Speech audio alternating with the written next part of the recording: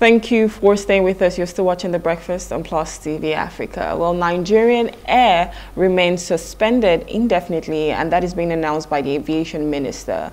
On the second day of the ministerial sectorial update on Monday, May 27 in Abuja, the Minister of Aviation and Aerospace Development, Festus Keyamo, has announced that Nigerian Air will remain suspended indefinitely.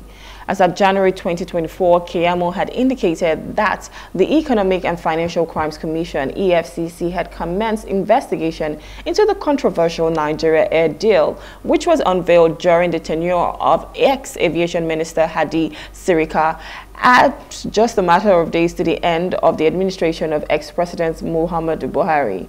Keyamo summarized the controversy, saying the project was never Air Nigeria, it was only painted Nigeria Air. It was Ethiopian Airlines trying to flag our flag.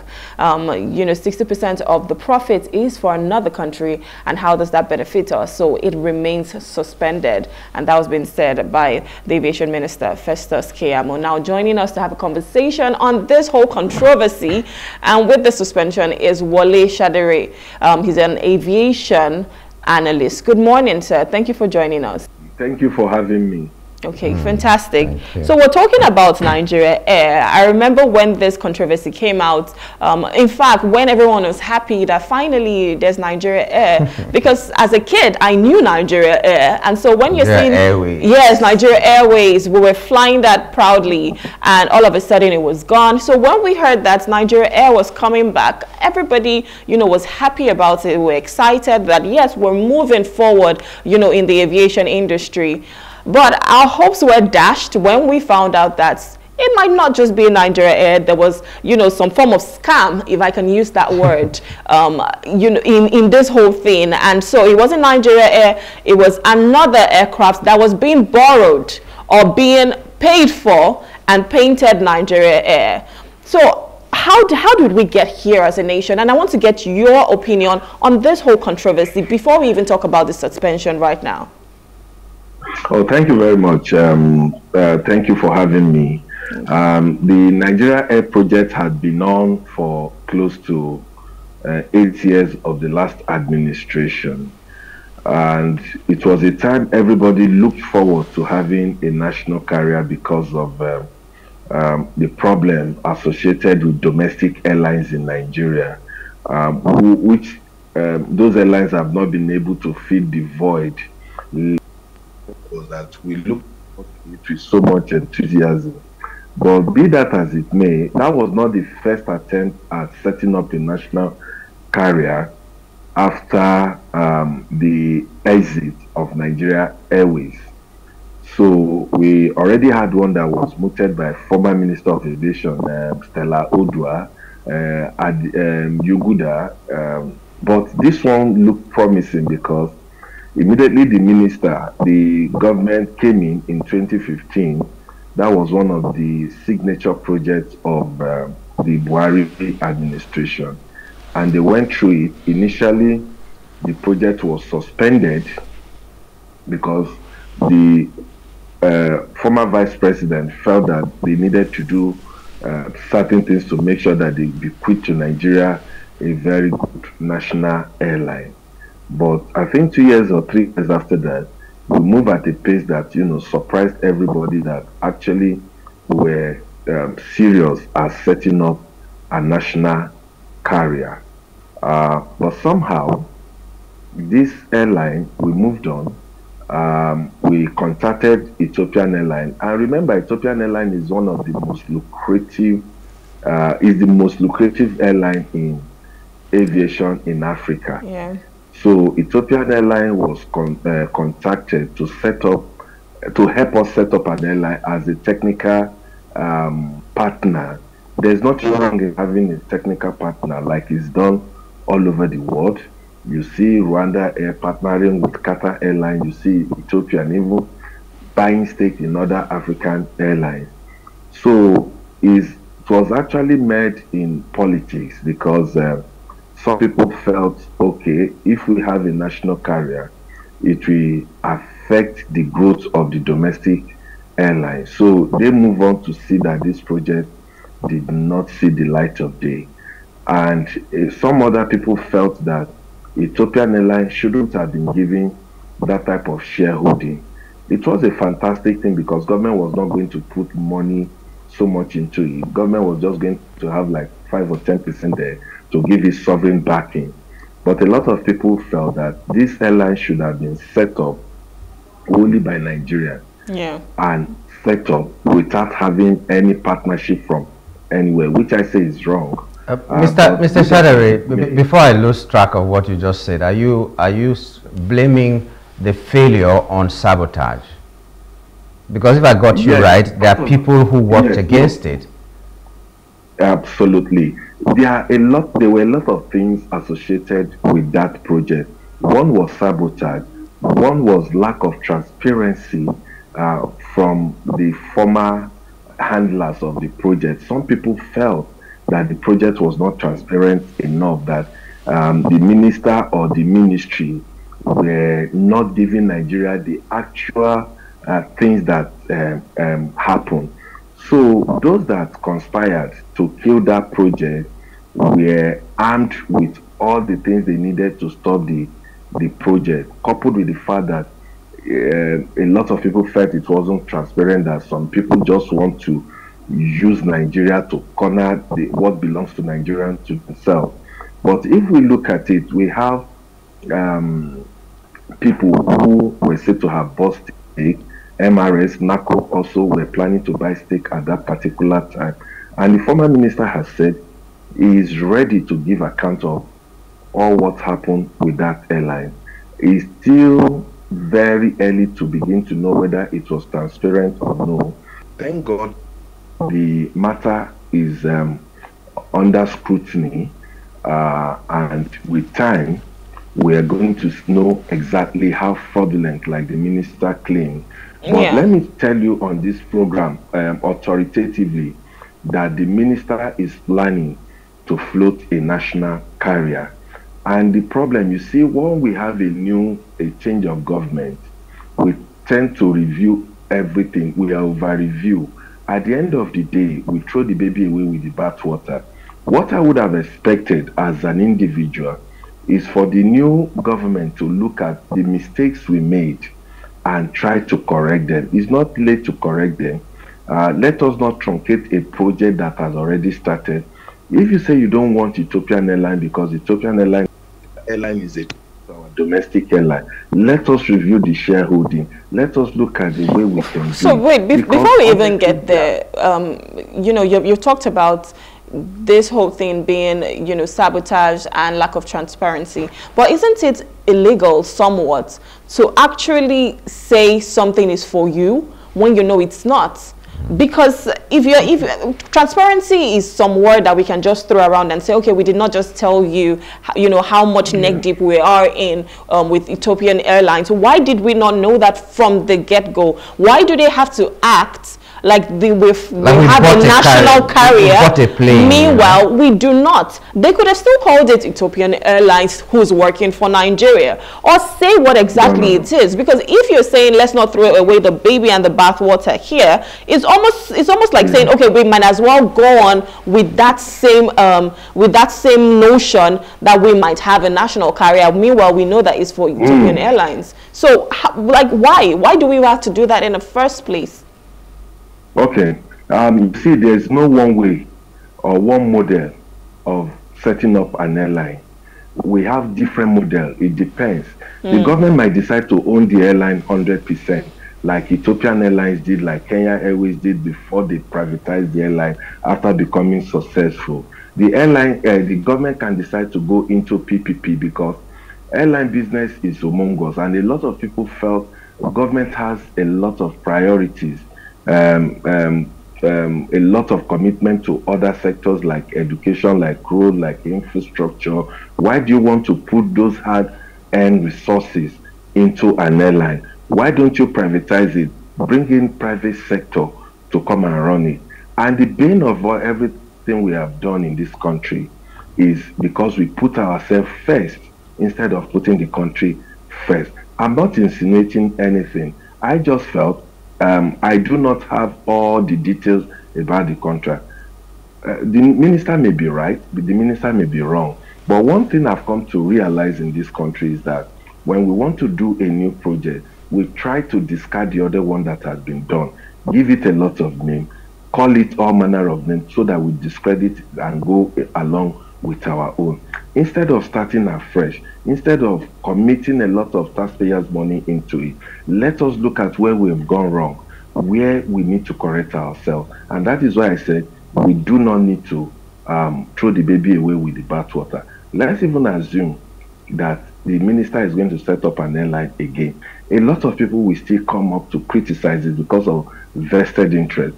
Um, Nigeria Air was criticized because of vested interest. Let me tell you the vested interest in that airline. A particular airline was trying to come up at that particular time, and they felt with the strength of Ethiopian airline, it may most likely muzzle them, which Ethiopian airline has said is not true. I was at a conference in Addis Ababa, and they laid everything bare for us, and we're seeing what is playing now.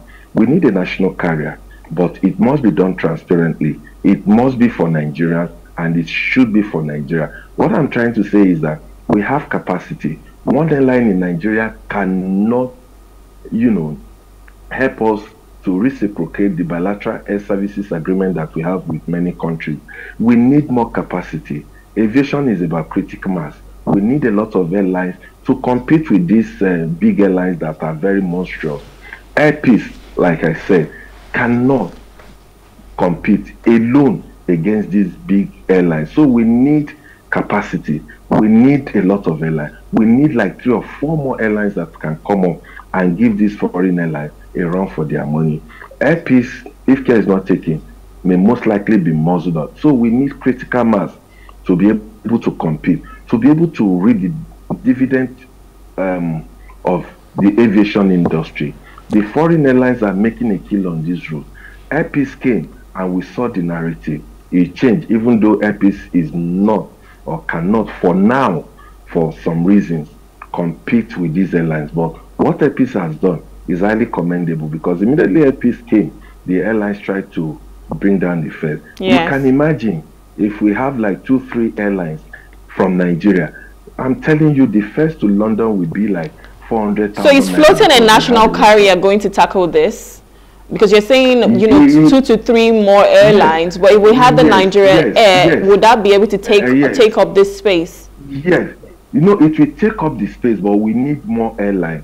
So it's not going to be before Air Peace came, there was no airline um, competing with this airline. But Air Peace came, we saw the change. Now, we saw the let, let's just let's just Then understand if we have this. two more airlines, we can see that. So that's the national carrier and maybe another one Yes. as Let's, well. let's understand and this. another one. But if we have a national carrier, because it's national in mm. quote, it's going to get a lot of support from the government. It's Yes. going to get a lot of support from the people.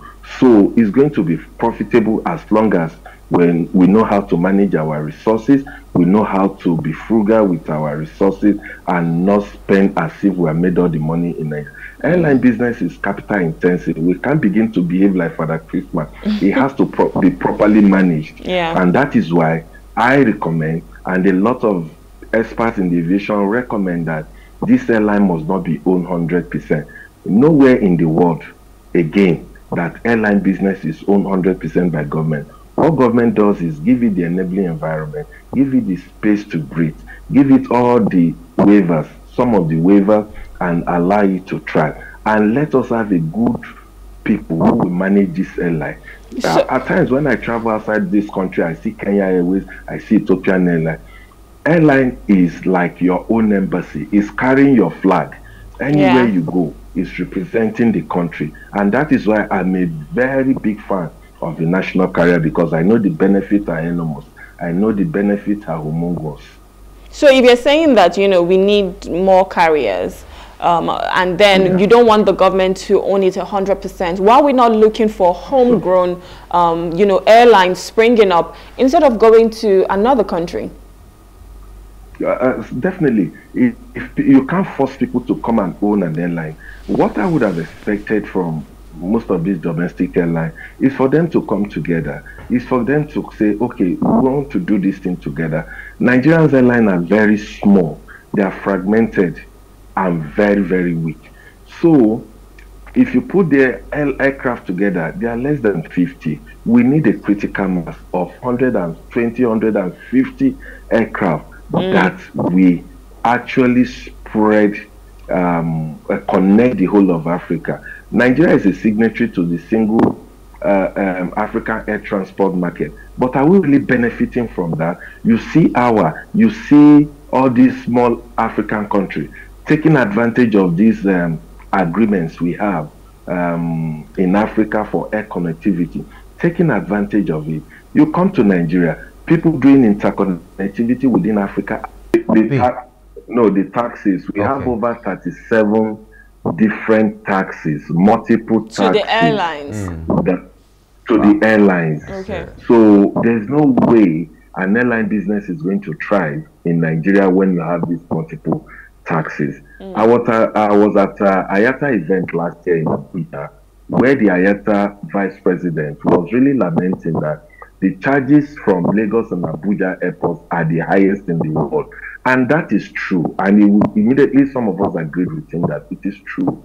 There's no way we have seen airline um, aviation as um, a, a sector where the government needs to make money all over the world government does not make money from aviation. What they do, whatever monies they, they, they, they make from the sector, they plow them back to the industry. And that is why you see that most of the airports you go around the world, um, construction uh, um, uh, projects are going on almost on a daily basis because you need to expand your airport, you need to expand facilities. But what we do here in Nigeria, we take it to the national treasury.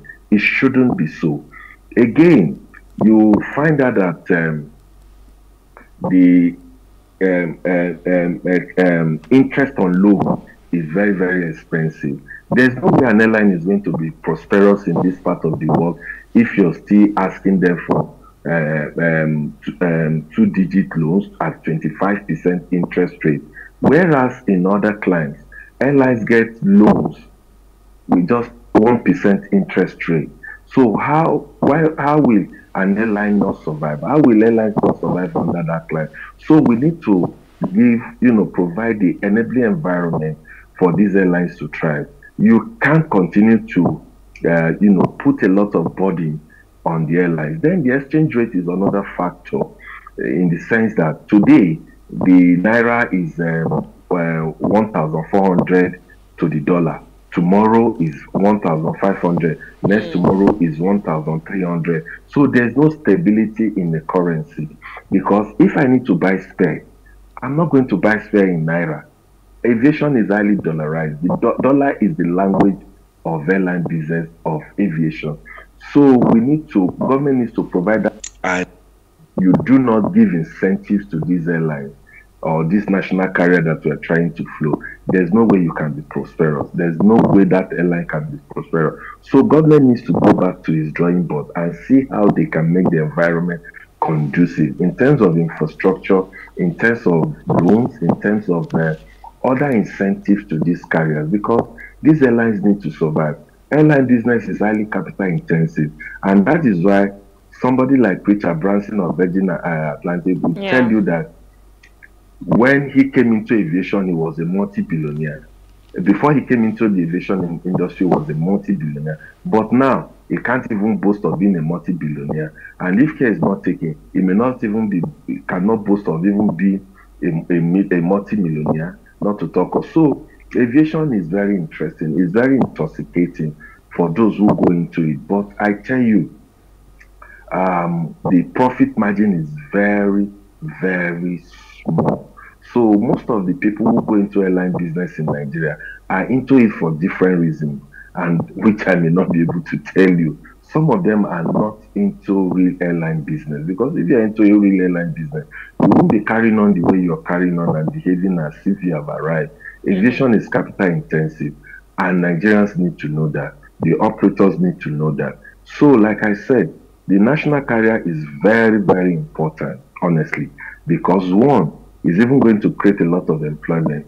If you create one airline, you're sure of having over 200 people that you, uh, uh, you, you, employ. You have you employ engineers, you employ pilots, you employ catering service is an enabler of the economy.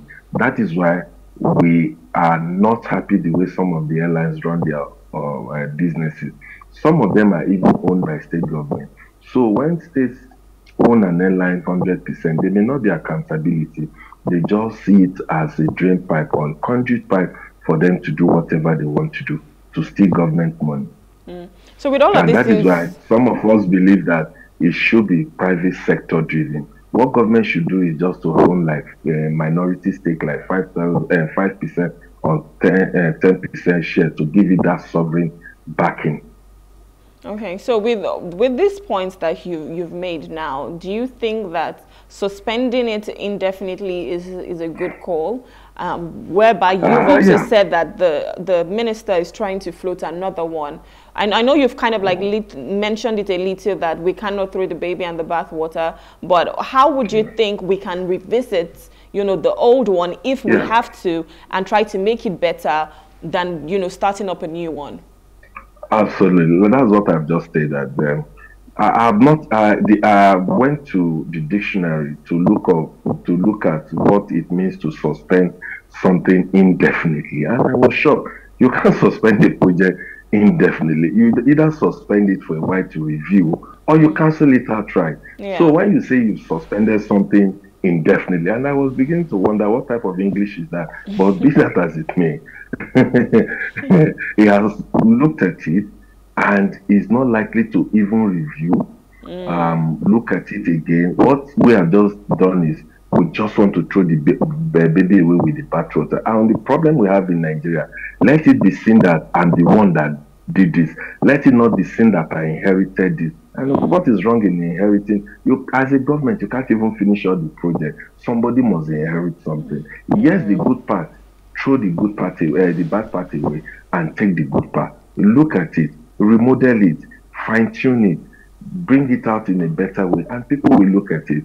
Uh, for him to have even used that language that is fraudulent, and you know, in Nigeria, once you say something is fraudulent, people will just say, since it's fraudulent, mm. uh, there's nothing we can do. Let's just discard this thing and see if we can start a new thing. We love to start new things. New things excite us in Nigeria so much. But be that as it may, let's see how far the minister can go. If he's still interested in a national carrier, we will look at it, we will scrutinize it from the beginning to the end to ensure that uh, the mistake, mistakes of the past are not repeated again. Yeah. I think that's that's a good way to land. And I, and I know one thing you said um, that was quite profound is you cannot finish all of the government projects. Um, we need to yeah. understand that there must be continuity in government. So Absolutely. if someone starts something, a new administration comes up, takes takes it up, and you just keep running with it because that's the only way we can Absolutely. grow and flourish as a nation and develop um, to the point that we want to get to. So um, with this one being indefinitely suspended, I don't know what that means. we don't know what that means. but then we, we yeah, we hope that they do the, the needful, whether it's starting up a new one totally or, you know, just amending certain things that needs to be taken yeah. out um, and imputing yeah. the others that needs to be, to be there just to make sure that we have a national carrier because it would really help us.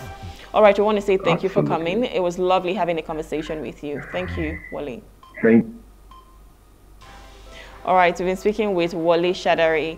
Um, he's an aviation analyst, and we've just been talking about the fact that the minister has announced that Nigeria Air is suspended indefinitely. All right, this is where we have to wrap it up on the show today. It's been lovely having a breakfast with you as always. My name is Reme Paulson. We're suspending the show till tomorrow, not indefinitely. so join us tomorrow for another edition of the show. My name is Nyamgul Agaji. Bye for now. Bye for now.